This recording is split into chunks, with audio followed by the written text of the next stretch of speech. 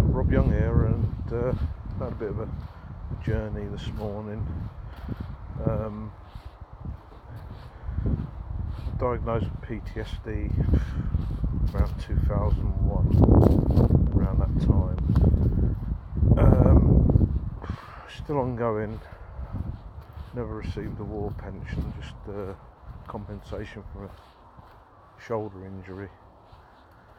Um, but the shoulder injury isn't the root of my problem. Uh, been in touch with certain military charities. Uh, spoke to SSAFA this morning.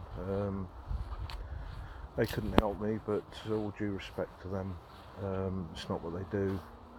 They don't deal with, um, you know, claims, that sort of thing, benefits. Uh, but they checked on the database whether there was uh, uh, an open case for me um, through the British Legion. I wrote to them three months ago. it's now the 15th of January 2019. Um, British Legion said they'd be back in touch with me within six to eight weeks of me contacting them. They never have done. So I feel let down by them. Uh, heard rumours and I just believe them now.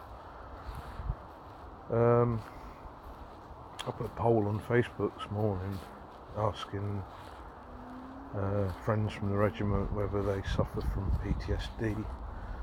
Uh, that poll is still going. Uh, had a phone call from an old friend. Um, quite emotional because his his brother had died two year ago because um, he basically didn't acknowledge that he had PTSD and has suffered for years. Just kept going basically, which is what I've been doing. But sometimes it just gets too tiring. You think, what's the point? That's where I think I'm fairly strong, you know. And there was a problem, had to find out what it was. But I'm so disappointed with the, the system where there's a lack of help you know, for people like myself, you know, all we need is a bit of help to uh, overcome the mental scars, I suppose. Uh, but it's that difficult. It's like you, it's like you're doing something wrong when you even mention it. So, or you're not believed or whatever.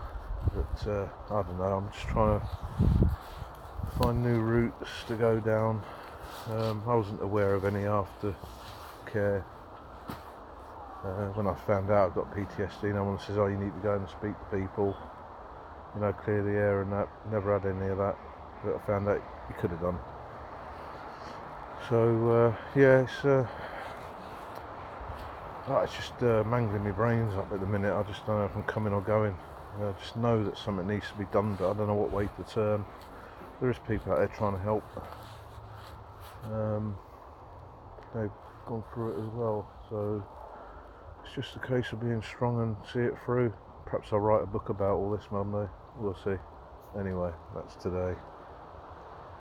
If all else fails, get yourself into nature.